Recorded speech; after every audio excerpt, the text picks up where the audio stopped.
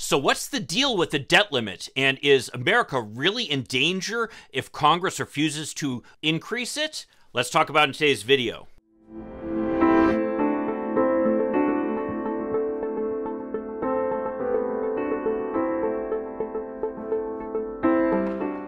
It was reported that Republicans have so-called plan to prioritize payments if Congress fails to address the debt ceiling. So I want to be very, very clear here, as I have been, as the president has been. Uh, this is not a plan. It is a recipe for economic catastrophe.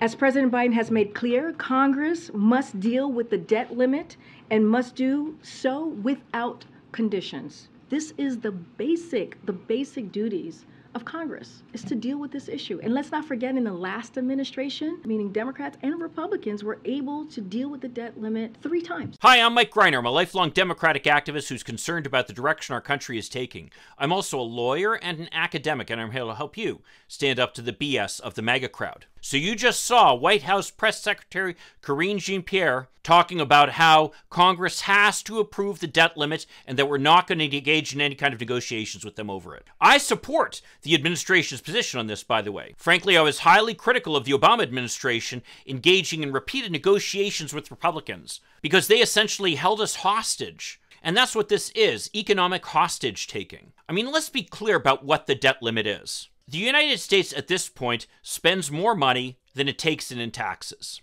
The biggest increases in these budget deficits, the deficit being the difference between what the United States takes in in taxes and what it spends in a given year, the biggest increases in those deficits have all occurred under Republican administrations, including the last one. In fact, the deficit and thereby the debt which is the accumulation of all the deficits of the past. Well, those increased pretty dramatically under President Trump. When he was president, the Republicans were happy to spend like drunken sailors, increasing spending and reducing taxes on the very wealthy, of course. They claimed that their tax cuts would be revenue neutral because they generate so much economic activity and growth, none of which came to pass. It turned out, as people predicted, that it was just a giveaway to the very rich, and it did nothing for the overall economy and for everybody else. But during the Trump administration, and during every Republican administration, including Ronald Reagan's, for example, Democrats went along with approving the debt limit no problem, because we know what the debt limit is.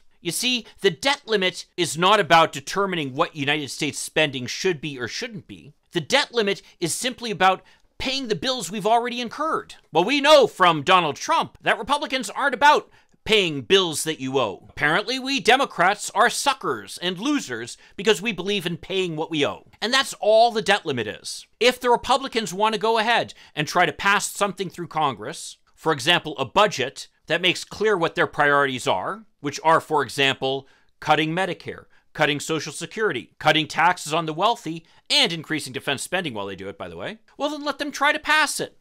Then it's an open discussion that everybody can see what they're trying to do. But this is the equivalent of you writing a check to somebody and then calling up the bank and stopping payment on it despite the fact that it's a lawfully owed debt to them. Unfortunately, because of the fact that President Obama did engage in negotiations with Republicans over this, resulting in such things as the sequestration, which limited government spending for a number of years, the Republicans think that this is an opportunity for them. It's not. And just like if you went and told the bank to stop payment on the checks you'd already written, well, if you did that, that would hurt your credit, right? Similarly, if Congress does not agree to pay the bills that we already owe, the United States credit will be hurt. Now you might say, oh, that's not a big deal, but in fact it is. Because guess what? The whole world's economy relies on US debt. I mean, if you have a savings bond, or if you've given a savings bond to a grandchild, guess what that is?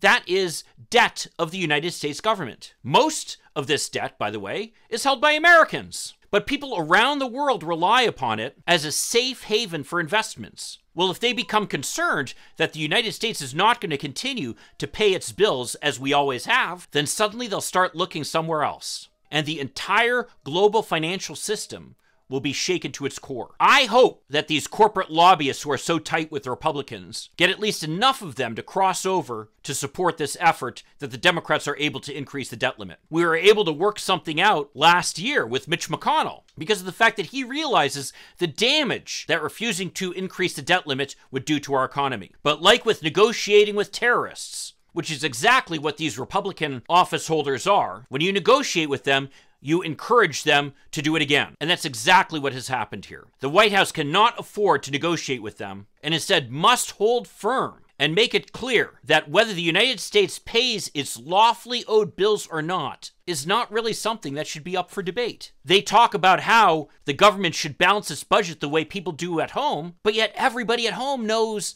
that when you write a check, it's going to be paid. You don't get to write the check and then negotiate with the person you wrote the check to for it to be worth less, which is exactly what Republicans are trying to do with the debt limit. Well, if you want to see what happened when Mitch McConnell worked with the Democrats to increase the debt limit, check out this video over here that I did a little while ago. I'll see you then. In the meantime, let's hope for continued progress. Thank you.